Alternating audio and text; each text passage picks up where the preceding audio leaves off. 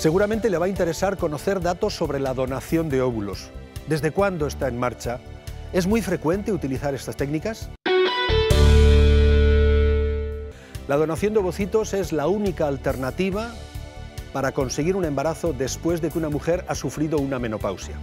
Y la menopausia ha podido transcurrir de manera natural o bien inducida médicamente como consecuencia de tratamientos para vencer el cáncer o porque como consecuencia de determinadas enfermedades a esa mujer le hayan tenido que extirpar los ovarios.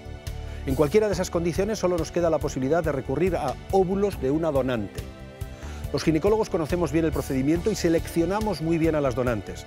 Tienen que ser menores de 35 años, sanas, además de eso no estar medicándose con ninguna medicación y tener el altruismo suficiente como para donar parte de su vida a otras mujeres.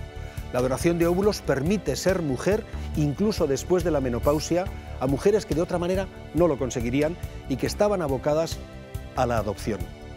Técnicas del futuro que nos ayudan hoy a conseguir la felicidad de hacer madre a, todas esas mujeres.